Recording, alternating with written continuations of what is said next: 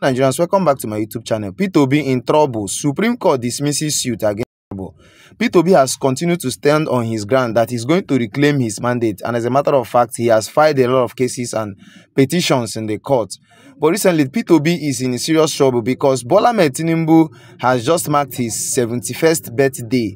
But yet, Peter Obi has not sent any congratulatory message to Bola Tinubu, irrespective of the, the fact that other prominent politicians and respective important persons in the country have congratulated Bola Tinubu despite all odds. But Peter Obi has failed to congratulate Bola Tinubu. No one knows the reason why Peter Obi has not sent his own congratulatory message, a birthday message, a shout out message to Bola Tinubu. And it's a thing of concern. It's a very, it's a very big trouble for Peter Obi because so many persons know him as an upright man. I say man who does not have anything behind or who does not carry anything in the heart for anyone. And everyone is waiting for his congratulatory message. The APC camp is seriously waiting for his congratulatory message, at least to congratulate Bola Tinubu on his 71st birthday.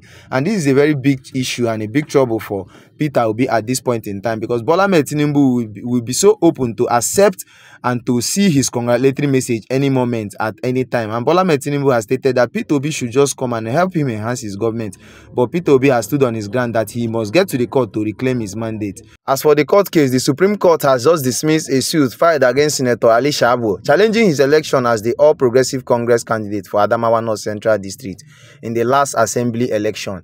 In a unanimous decision by a five-man panel of Justice Inyang Okoro dismissed the claim that it lacked merit.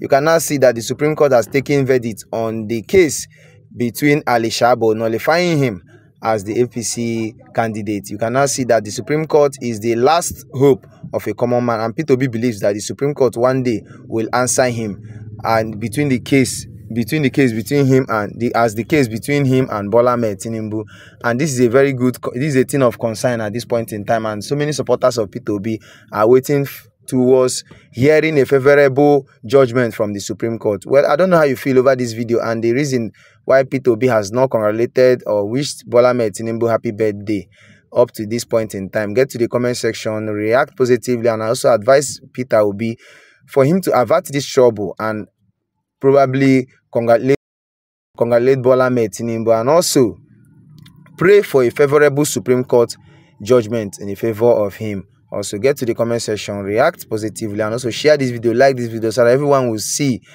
And also everyone will contribute on the reason why p2b has not congratulated bola at this time.